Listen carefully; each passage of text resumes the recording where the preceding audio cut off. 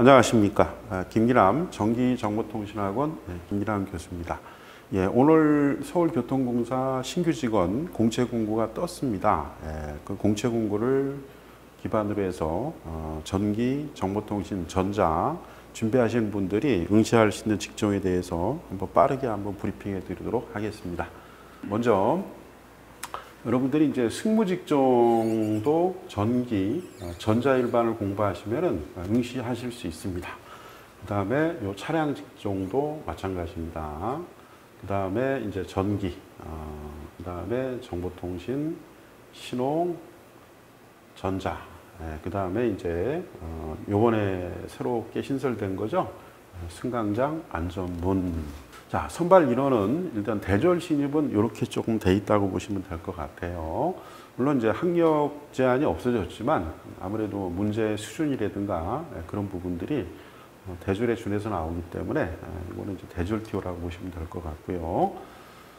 음, 두 번째는 이제 고졸 티오라고 보시면 될 것 같습니다. 마이스터 고등학교라든가 특성화 고등학교 예, 졸업생들을 대상으로 하는 아, 그런 티오입니다. 물론 이제 학교 성적은 뭐 30% 이내에 들어가야 되죠. 아, 30% 이내에 들어가야 되고 학교별 아, 제한된 추천 인원이 있는 예, 그런 직종입니다. 그래서 먼저 어, 차량 9명이네요.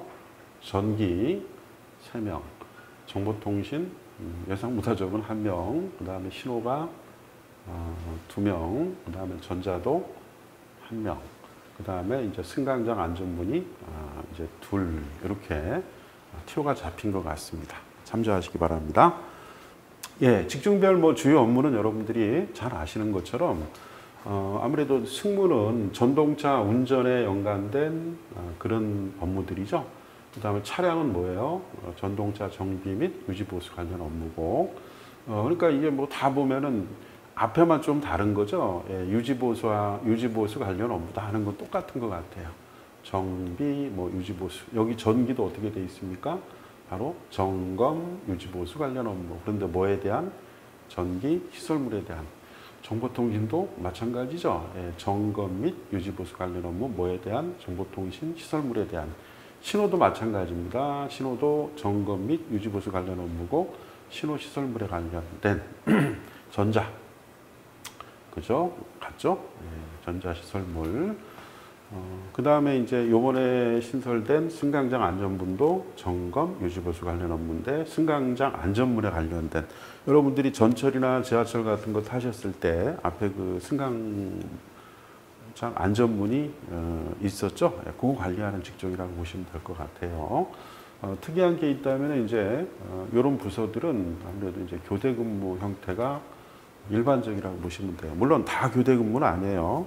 어, 본사에 근무할 경우는 뭐 여러분들이 출퇴근을 하는 그런 업종도 있을 거고 어, 여기에 연관된 그런 부분들은 이제 교대 근무 형태가 많다. 자, 지원 자격은 이제 만 18세 이상이죠. 에, 군필이 돼야 됩니다. 남자는 여자는 상관이 없고요. 그리고 이제 어, 뭐 나이 제한은 없는 걸로 일단 돼 있지만 아무래도 신입 직원이기 때문에 어, 나이 제한이 없지만 눈에 보이지 않는 제한은 좀 있을 거라고 생각이 돼요. 그 40이 좀 넘어간 분들은 좀 힘들지 않을까 하는 좀 생각도 좀 듭니다. 어, 뭐 자격은 뭐 여러분들이 승무만 좀 기관사 면허가 있어야 돼요. 어, 요 기관사 면허는 어, 서울과기대라든가 서울교, 아, 한국교통대학, 그 다음에 코레일, 한국교통공사, 그 다음에 뭐 일부 뭐그 동양대나 어디 일부 대학에서 18주 정도에 한 500여만 원 내고 예, 교육받는 과정이 있어요. 이론과 기능 교육을. 아, 그거를 아마 받으면은 이 기관서 면허입니다. 면허. 면허를 아, 취득할 수가 있어요. 그러면은 이제 아, 승무 직종에 응시가 가능한 거죠. 아, 물론 이제 일장일단이 있겠죠. 아무래도 이 자격을 가진 사람만을 대상으로 하는 시험이다 보니까 아, 경쟁률은 좀 떨어질 수 있지만 아, 준비 기간이 너무 길어진다는 거죠. 예, 나머지는 뭐 여러분들이 보시면 될 것 같고요. 음, 자, 근무 조건은 뭐라고 되어 있나요? 교대 근무 가능한 자 이렇게 되어 있죠. 그래서 이제 어, 여성도 마찬가지예요. 여성도 휴일 야간 근로 그 다음에 휴일 근로. 자, 그러면 이제 기능인재의 지원 자격은 어, 학교장 추천을 받아야 된다 그랬죠? 에, 그것뿐만 아니라 이제 지역 제한도 있습니다. 지역 제한은 어, 서울시에 소재한 특성화 고등학교나 마이스터 고등학교가 돼야 된다는 거죠. 예. 그리고 학과 제한도 받습니다. 뭐 정보통신은 정보통신, 신호는 전기나 전자, 그 다음에 어, 전자는 전자, 승강장 안전문은 정보통신, 전기, 전자, 차량도 예, 그 다음에 전기, 뭐 이렇게 요 관련 학과만 응시할 수 있고요. 30% 이내만 응시가 된다. 이런 전제 조건이 있어요. 자, 입사 지원서는 음, 9월 14일부터 18일까지 아, 접수를 합니다. 그래서 인터넷으로만 접수를 하는 거고요. 에, 전형 절차는 이전에도 한번 얘기를 드렸었죠. 에, 여러분들이 온라인으로 인성 검사한다는 거 좀 보시고 실제적인 어떤 가장 큰 시험은 요거겠죠. 음, 필기 시험. 아, 그리고 요 면접 시험. 어, 나머지는 뭐 큰 요식행이라고 좀 보셔도 뭐 큰 문제는 없을 것 같아요. 자, 가장 중요한 이제 시험 일자죠. 예, 시험 일자는 필기는 10월 11일. 토요일이 아니래요. 일요일이네요. 음, 그리고 면접 시험이 10월 26일에서 10월 30일. 최종 합격이 이제 11월 20일 날 발표가 되면은 어, 이제 신체 검사 받고 음, 이제 최종 합격 전에 신체 검사를 뭐 받겠네요. 요 프로세스대로 하면은 그리고 이제 신규 교육을 4주 받죠. 4주. 그리고 이제 임용이 되게 된다라고 이제 보시면 됩니다. 자, 필기 시험은 뭐 이전에서도 뭐 자주 얘기했기 때문에 아, 여러분들이 잘 아실 거라고 생각이 돼요. 자, 서울교통공사 ACS는 모듈형으로 출제가 되고 있죠. 전직종이라고 된 거는 어, 이게 이제 보면 하나, 둘, 셋, 넷, 다섯, 여섯, 일곱, 여덟, 아홉, 열, 열 개 영역이 다 나온다는 겁니다. 거기에다가 어, 뭐가 더 추가가 된다 그랬어요?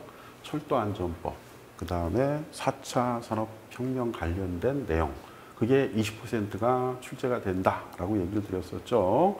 그래서 이게 이제 40문제예요. 40문제. 그리고 나머지가 뭐죠? 나머지 전공이 40문제입니다. 그래서 NCS는 점수차가 많이 날 것 같지는 않아요. 점수차가 많이 나는 건 아마 전공이 될 것 같습니다.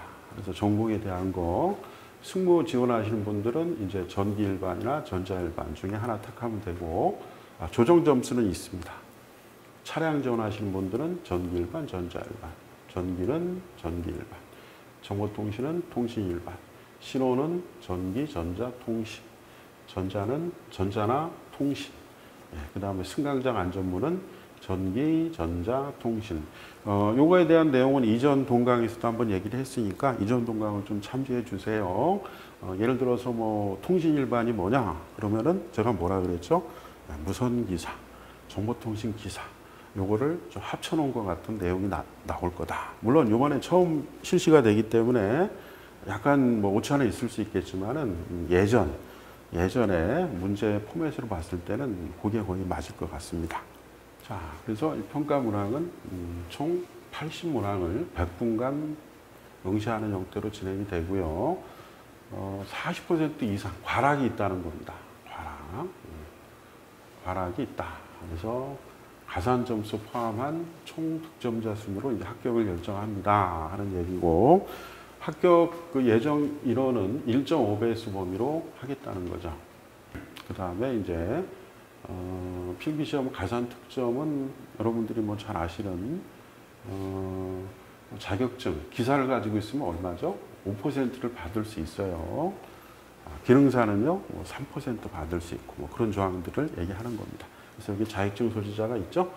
아, 물론 이제 여기에 보면은 뭐, 뭐 독립유공자라든가 뭐 보훈 보상 고엽제 후유증, 뭐 5.18 민주유공자, 뭐 특수임무 유공자 뭐 이런 조항에 해당되는 분들은 뭐 당연히 어, 이런 가산점을 받을 수 있는 거고요. 일반적으로는 뭐 이건 좀 받기가 쉽지가 않죠. 그래서 자격증 가지고 여러분들이 가산점을 받으셔야 됩니다.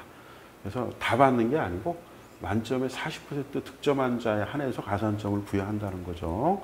한 개만 가산점을 인정하는데 어, 아까도 언급한 전기 차량 운전 면허나 철도 간제, 철도 간제 여기 있네요. 철도 간제사 아, 이런 경우는 에, 중복도 인정을 하겠다. 뭐 이런 내용이네요. 음, 그래서 이게 기사 이게 이제 5%라는 거죠. 어, 제출 시기는 여러분들이 어, 면접 시험 볼 때 제출을 하게 돼 있어요. 그러니까 앞으로 좀 시간이 있기 때문에 지금 필기 보고 어, 실기까지 패스하면은 될 수도 있을 확률도 있어요. 음, 한번 잘 한번 보셔가지고 도움 받으셨으면 좋겠네요. 뭐 인성 검사는 뭐 여러분 온라인으로 실시하는 거고요. 어, 이거는 당락만 결정을 합니다. 아, 한데 뭐 글쎄요 인성 검사에서 뭐 특이하게 뭐 특이점이 발견되지 않으면 뭐 거의 뭐 패스라고 보시면 될 것 같고요. 아, 그럼에도 불구하고 어, 한번 정도는 여러분들이 음, 좀 모의 시험이라도 한번 응시를 해보시는 게 여러분들한테 상당히 도움이 되실 거예요. 왜냐하면은 이 인성 검사 결과는 면접할 때도 어, 참조 자료로 사용이 되기 때문에 어, 좀 중요한 자료가 될 수도 있어요. 이 부분도 학원에서 이제 모의 시험을 지금 실시하고 있습니다. 참고하시기 바랍니다. 자, 면접 시험. 음, 여러분들이 가장 어렵게 생각하는 부분이죠. 그래서 여기 PT 면접, PT 면접, 그 다음에 이제 집단 면접, 집단 면접. 음, 그래서 최종 그 필기 50, 면접 50 해서 보직점사 순으로 합격자를 결정한다. 이렇게 여러분들이 보시면은 맞을 것 같아요. 이 부분에 대한 내용은 이전 동강에서도 한번 언급을 했기 때문에 그 동강을 좀 참조하시면 좋을 것 같습니다. 어, 신체 검사 뭐 읽어보시고요.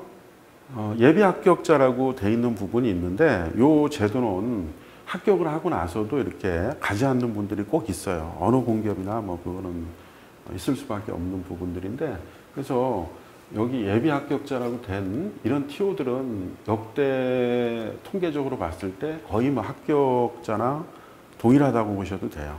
임명하지 않는 사람들이 많기 때문에 실력이 좋은 친구들은 공기업을 막 두 개, 세 개 막 이렇게 합격해 놓고 어디 갈까 고민하는 친구들이 많습니다.